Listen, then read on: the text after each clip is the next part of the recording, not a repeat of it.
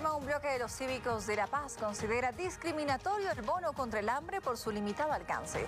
Plantean que solo se excluya de su pago a los funcionarios de Estado sabemos de que el hambre es de todos, su nombre dice bono contra el hambre, y bueno, todos sabemos comer, no por cobrar un, bono que han hecho un bono canasta, no tienen derecho, digamos, a cobrar, y ante esa situación es que nosotros pedimos al gobierno de que se pague a todos el bono contra el hambre. A los únicos que no debían pagar debían ser a los funcionarios públicos en actividad.